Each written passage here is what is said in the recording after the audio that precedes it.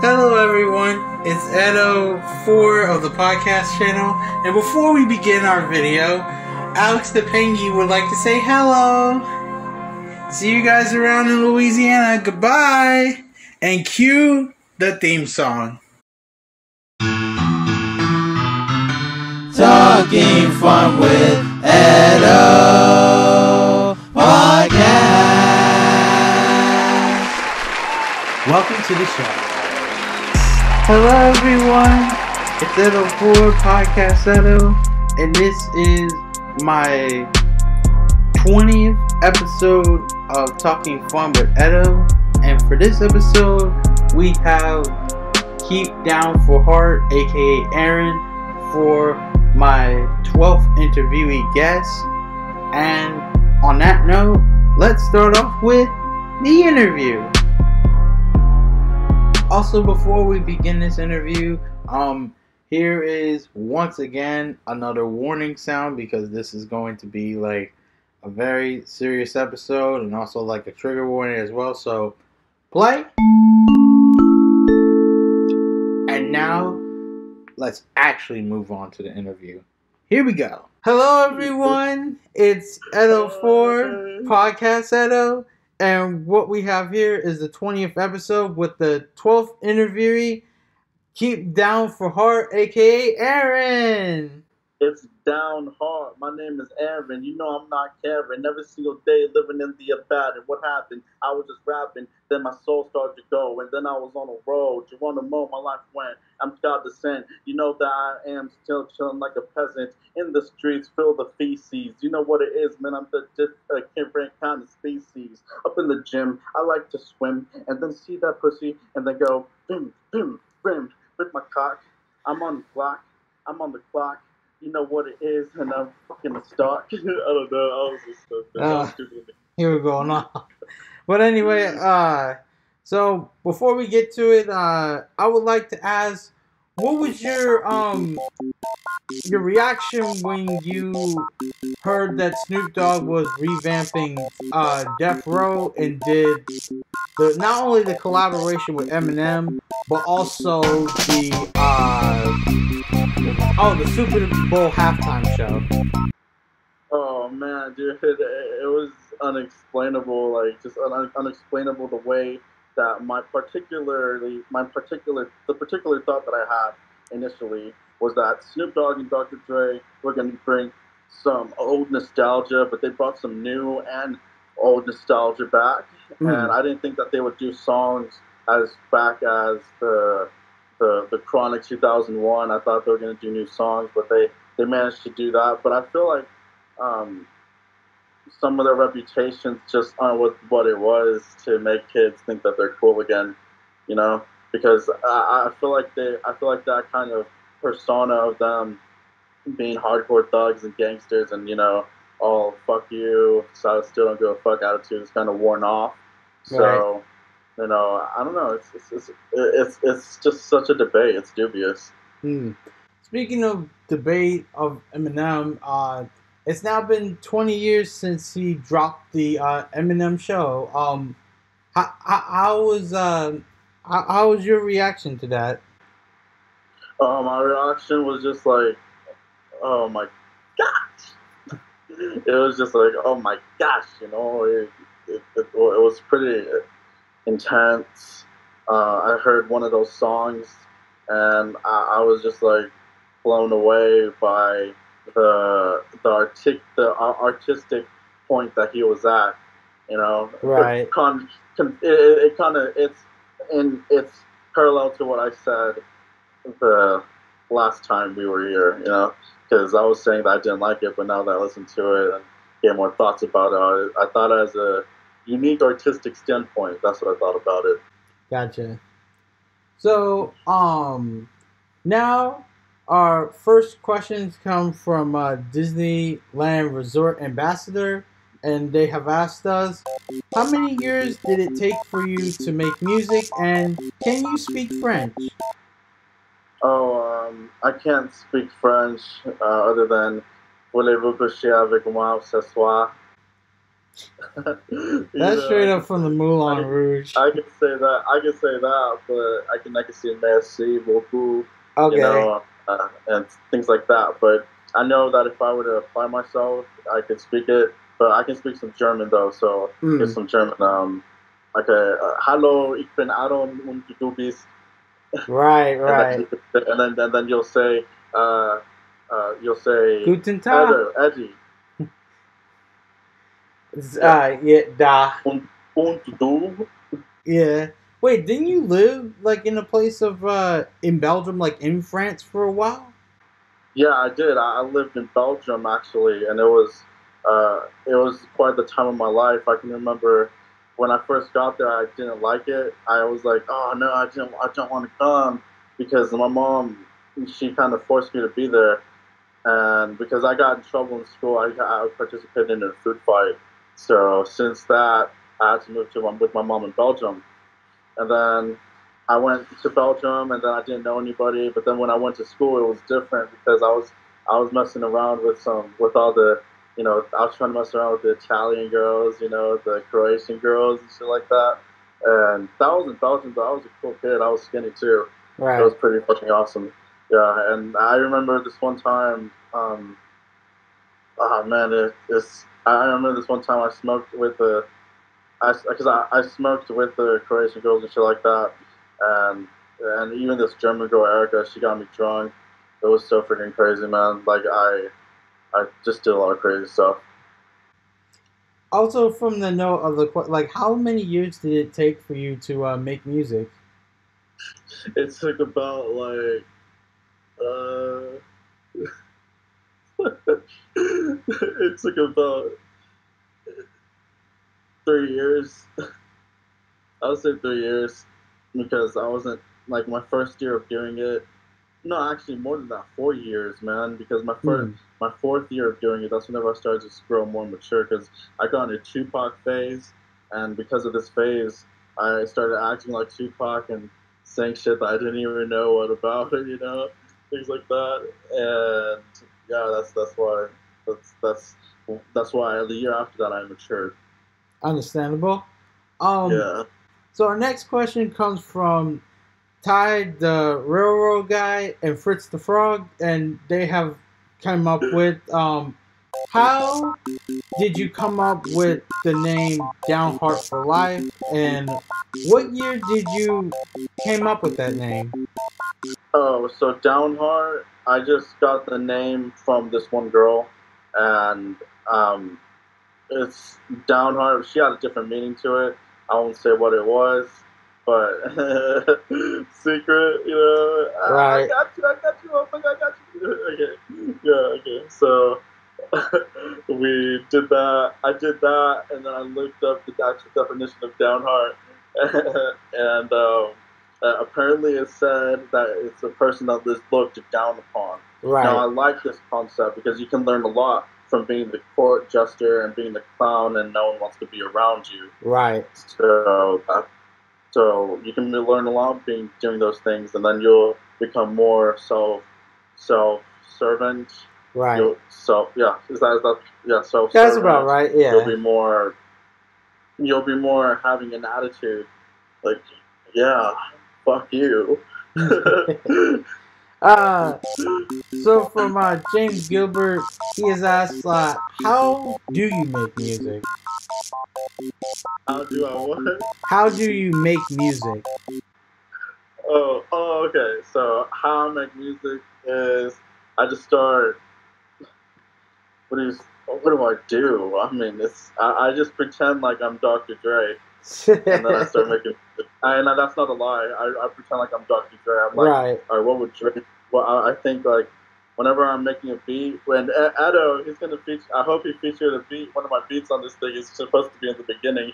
And if you heard that beat, that's my beat. And if you want, if you like it, we can collab, you know, and then we can do all, all kinds of cool shit. So yeah, that's for anybody and everybody. Right um what was like a motivation that helped you create music and what is what would you like your music to do for the society that is around all of us um really, I just hope that. Gosh, uh, it just doesn't ma- it just doesn't matter to me. You know, it's music. Music can can be anything, and it could be something that I would have never even expected. And so Mm. that's the whole beauty of it. Right. That's that's what I liked about music was that it hit me with unexpected things. Mm. You know, so if I say, so I'd rather not say what what you know I I feel that music should do because music music should be able to do anything. Right. It's right. just that creative. Oh, you feel me? You, I you- feel you- man. I You feel feel, you. feel? I feel You you. feel me? I feel you. Yeah, yeah, yeah. Virtual apology. Uh, Dope. Our next question from Lana Chen. She has asked, uh, "Did you go to Full Sail University?" I, I I wish I was. I, I wish I go. I went inside the school more often, Mm. but I I just um. Uh, it It didn't really work I, out. I, I kept on partying. I partied too much, you know. I Mm. partied too much, and I just wasn't focused on school because it was on online. Right. So I decided to. uh, So then I then I had to move out of my apartment. So Right. then I, I went to um, what's it called, uh, um, San Antonio, Texas, which was the worst decision of my life. And uh, San Antonio is your uh, born. You were born and raised there, right? Excuse me. No, I was born in a small town called Altus, Oklahoma. Mm. So it's it's up north. Okay, yeah, gotcha. Altus, Oklahoma is up is up north, and it's just so crazy, man. Like everybody there is so crazy. Yeah, So, even even what's going on uh, in it lately. Uh, a friend of mine, uh, uh, a person I interviewed last time, which we'll get to him as well. Aim Pang 18. He's planning on moving there to, because if I remember, he was originally from New Jersey, and then during the Full Sail time when I was there, uh, he was in Florida, and he's planning on coming to uh, Texas soon. Texas. Wow, man! There's so many people moving to Texas. It's, it's incredible. Um, I just, I don't know, man. I, I wish that there was more girls over there that were willing to have sex, but it just doesn't matter. But dude, all those, yeah, it, it's just crazy. Right, right. So Robert Shane Burns has asked, uh, what was your favorite song in general? Uh, it could be um, it could be in general, or even like a song that you made, or what was your? Oh wait, I'm sorry. So, what was your favorite song in general, and do you have a favorite song that you have made and released on your own? There we go. Oh, uh, one of my favorite songs. Uh, right now, I'm in the mood for some rock, and actually, this is a kind of exclusive of what I do Mm. listen to. So here it goes. Mm. Hold on. I wonder if you can see it. All right. So, Whoa! Oh, and, uh, vinyl collection. Yeah. This is what I listen to. A Mm, little Guns N' Roses. This is an original pressing, by the way. Pretty nice. cool. That's my turntable right there. Mm. We can't really play the song though. Can't really play the song. Yeah, we can't play the song, but that's a part of my collection. Right. Okay. Um. On that note, okay, this one is just from a own question. Uh, do you have uh, and this possibly also goes with Casey Bushmeyer. Asks, uh, do you have any other artists that's in your field, and uh, how do they support you? I have one. His name is Illy Ill, and he's pretty damn dope. You know, I know him since I was a kid. We we did music together and stuff like that. So it was uh, was, uh, it was pretty interesting how we evolved and as a friend. Mm. So we have that. You know, I have Edo, of course. You know Eddie. Uh, I have um, very limited, very limited right now. I have a guy named Marvell Mm. Strange. Uh, very very limited. I see it. Hold on for a second. I do, I do I mainly on myself, you know, because if I if, if I like look on other people to be in my, in my artist range, then it's just not it's it's not going to be um, and anything of an accomplishment. It'll, but it might be a success. I feel you. Accomplish anything from. I feel you. Um, so now we're going into the part of favorite and first. So, um, Splash McFrog has asked, "What is your favorite food?" My favorite food is uh, right now pizza. I mean, that's been my favorite for a long period of time. Look at this shit. Smile. uh, Alan from Sesame Street has asked, "What is your favorite musical instrument, and what instruments do you play?"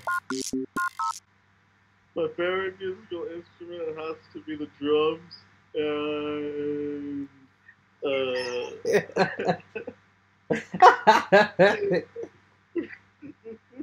Bruh, the face.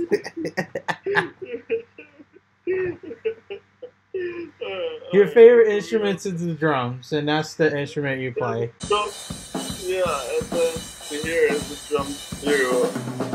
Especially on Black Sabbath record. Mm. Black Sabbath. They're fucking awesome.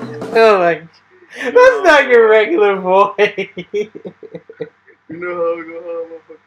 You know how I go home. oh my god. Um. Do you have uh, a favorite type of day to create anything? what? Do you have a favorite type of day to create anything? Aaron! Bruh.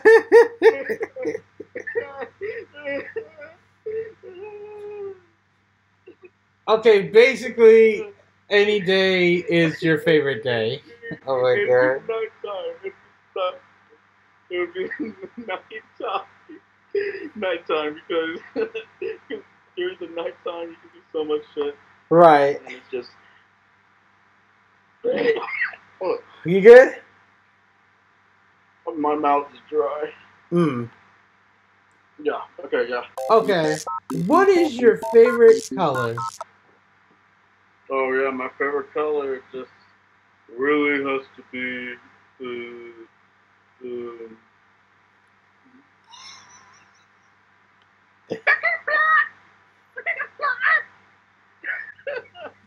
right. black and black and black. I thought it was pink. black. All right. All right. Okay. So, uh, all right. So, um, okay. So our third to last question we have is, if you could give advice for your younger self, what would you say, and what would you uh, do for your younger self? Damn, dude. Stop jacking off to porn.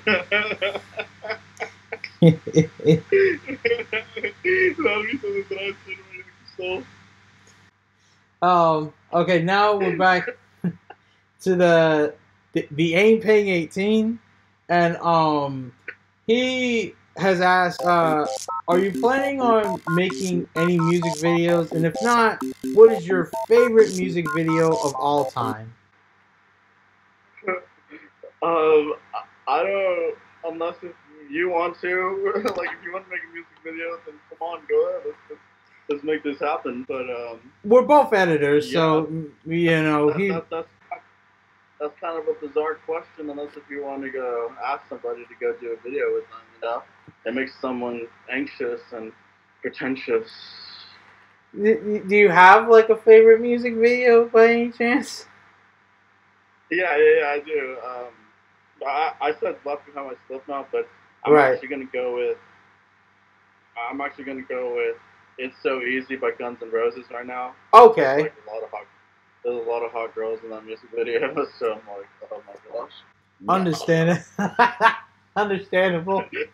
So our very our very last question before we end this for the for the podcast special of first year um 20th episode and also you're my 12th guest is um, what projects do you have coming up soon, and how can we all find you if we want to collaborate or anything similar to that nature? Oh shit! So I am currently looking for people to rap with, just to feature on a few beats, and I have a SoundCloud of all my beats right now. They're not for sale, but they sound pretty dope. Some of them, and I was gonna feature one at the beginning of this video, and I hope Right. you listen to it. Then you're you're you're loud and surprised. Right.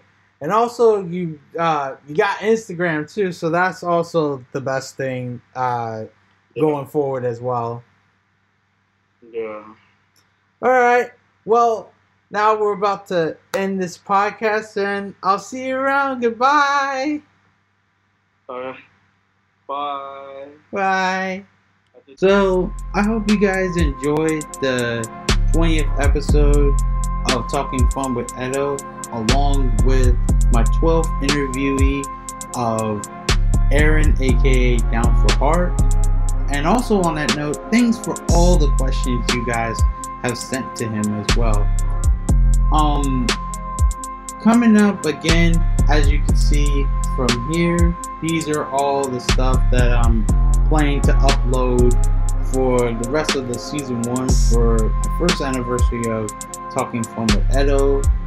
Another thing coming up next is the Q&A for myself that was done by the help of Down for Heart. And later down the line for my main channel is the Berries Kobo Report, the Workshop of Berries, my fourth fellow project. Until next time, I'll see you all later. Goodbye. Talking fun with Edo Podcast.